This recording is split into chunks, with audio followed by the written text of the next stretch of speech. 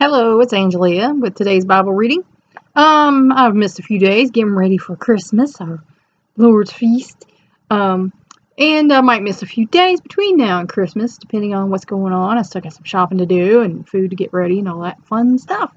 Um, so just in case I don't make it back on here uh, between now and then, I want to say Happy Hanukkah to our family and friends uh, who are Jewish and are celebrating that right now, and Merry Christmas uh, to all my Christian family and friends uh, who were getting ready to celebrate this weekend.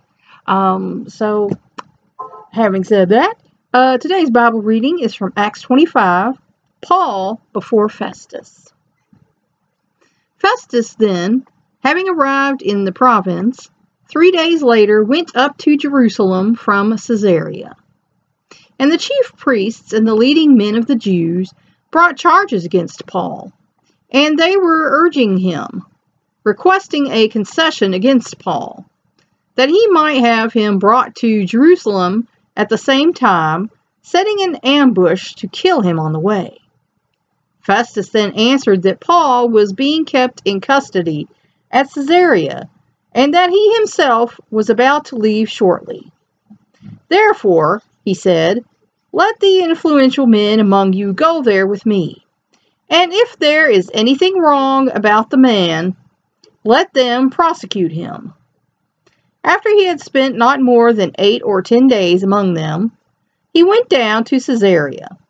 And on the next day he took his seat on the tribunal and ordered Paul to be brought. After Paul arrived, the Jews who had come down from Jerusalem stood around him, bringing many and serious charges against him which they could not prove. While Paul said in his own defense, I have committed no offense either against the law of the Jews or against the temple or against Caesar. But Festus, wishing to do the Jews a favor, answered Paul and said, Are you willing to go up to Jerusalem and stand trial before me on these charges? But Paul said, I am standing before Caesar's tribunal where I ought to be tried.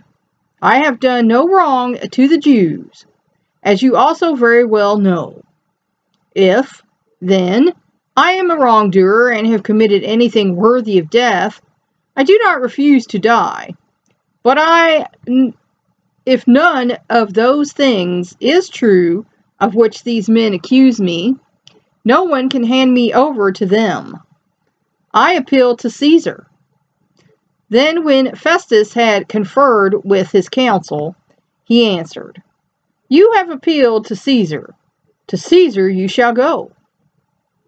Now, when several days had elapsed, King Agrippa and Bernice served at Caesarea and paid their respects to Festus. While they were spending many days there, Festus laid Paul's case before the king, saying, There is a man who was left as a prisoner by Felix. And when I was at Jerusalem, the chief priests and elders of the Jews brought charges against him, asking for a sentence of condemnation against him. I answered them that it is not the custom of the Romans to hand over any man before the accused meets his accusers face to face and has an opportunity to make his defense against the charges. So after they had assembled there, I did not delay, but on the next day took my seat on the tribunal and ordered the man to be brought before me. When the accusers stood up, they began bringing charges against him, not of such crimes as I was expecting, but they simply had some points of disagreement with him among their own religion and shout a dead and about a dead man, Jesus, whom Paul asserted to be alive. Being at a loss how to investigate such matters, I asked whether he was willing to go to Jerusalem and there stand trial on these matters. But when Paul appealed to be held in custody for the emperor's decision, I ordered him to be kept in custody until I send him to Caesar. Then Agrippa said to Festus, I also would like to hear the man myself. Tomorrow, he said, You shall hear him. Amen. That's all for now.